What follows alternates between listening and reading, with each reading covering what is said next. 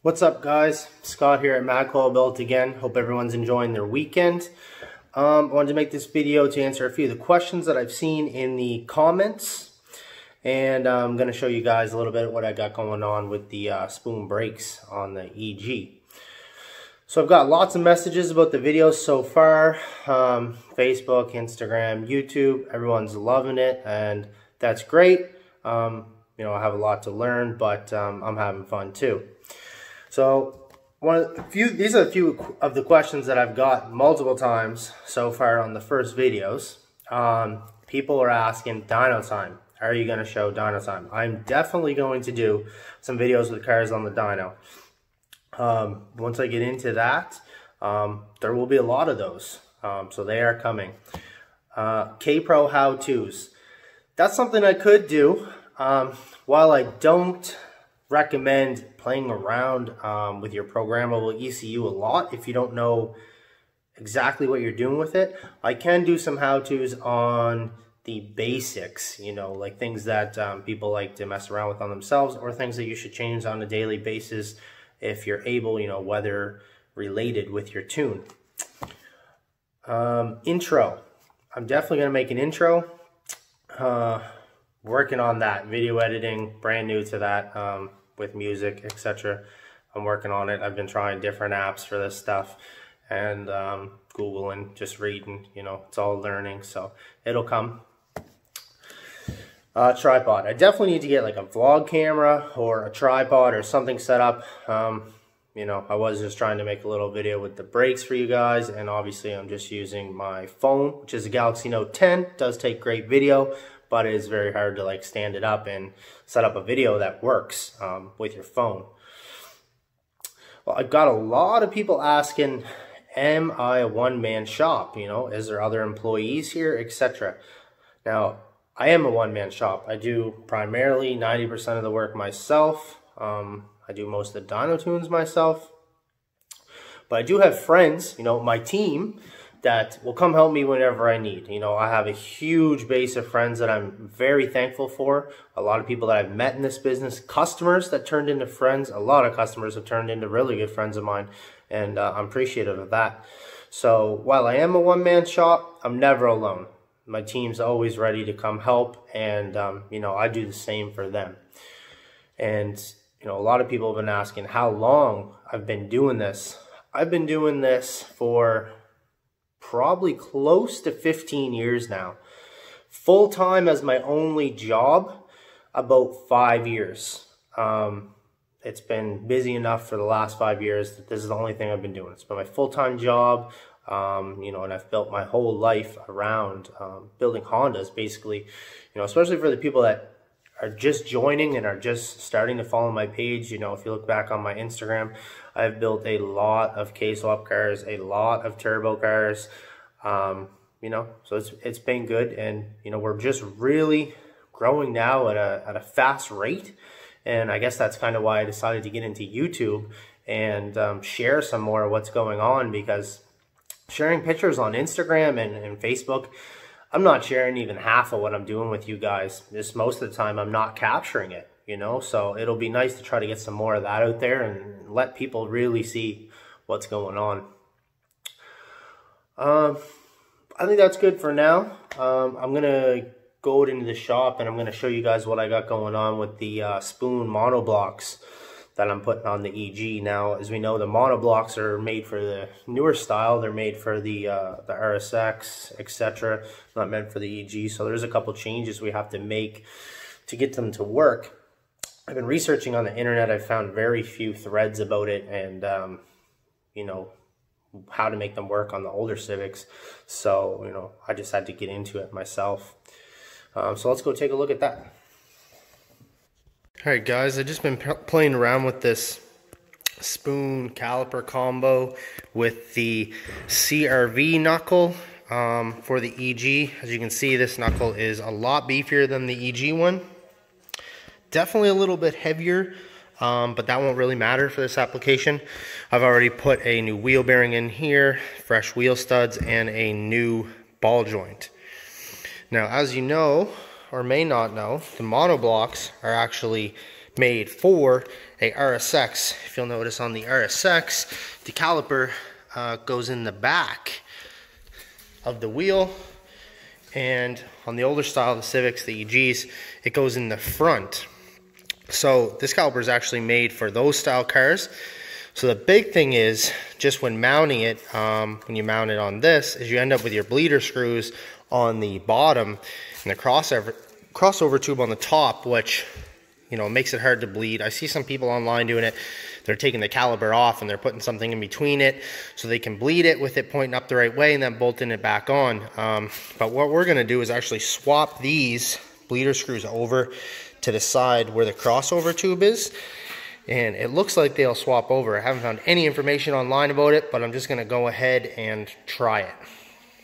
Okay, so with changing these bleeder screws around, this little piece here was actually inside here. Now it needed to come out so that the bypass tube could be switched to this side, so it's now on the bottom of the caliper, and the bleeder be back on the top so that it can be bled properly. Now I had to be super careful with this. It's really soft, um, so I could get out without damaging it. I lightly tapped a ECO into it and pulled it out. It doesn't look like it's damaged it at all. So I am going to um, reuse these. So we've installed the bypass tube back in. We're going to tighten this up.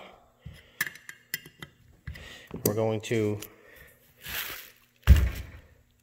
tighten our bleeder screws back up and we'll get this ready to mount and see how it fits.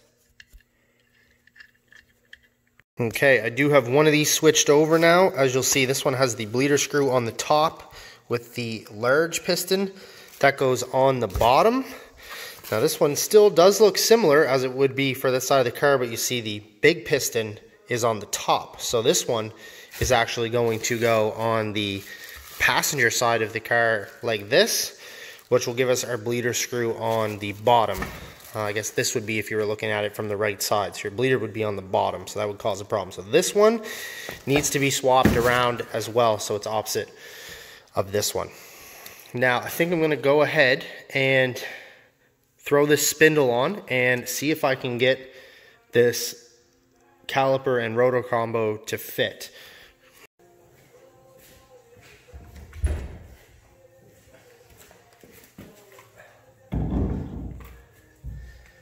I did already have the other one removed and the nuts off. I had everything here ready to go. I'm just gonna put it on loosely right now. Um, I still do have to put the axles in this when I throw the engine in it this week.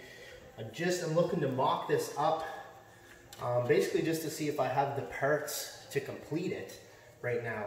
Uh, I can't find any rock solid information online about which rotor combo actually works with these monoblocks on the EG. So I'm hoping that I got the right selection. Okay.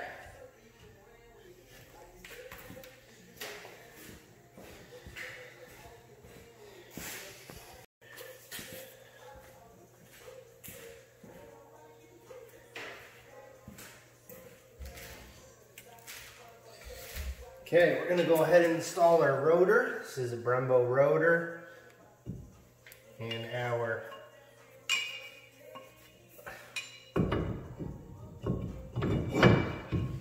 rotor screw to hold it in.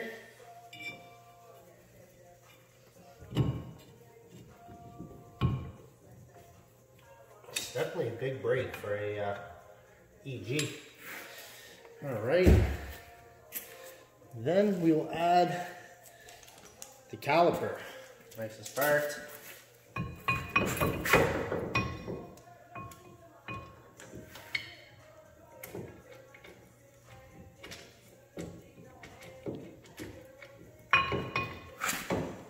Sometimes these are a little tough to get threaded.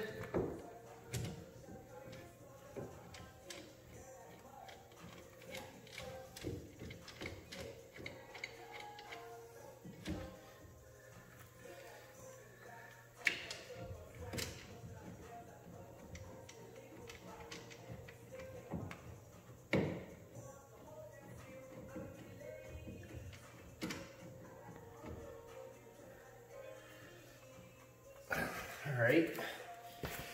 So we got it bolted up. As you can see, it looks good. The rotor makes it all the way in the caliper. This rotor here is actually in between size of for a Type R and an RSX. Um, basically just picked it off the shelf at my parts place. we are gonna have to put pads and stuff in there.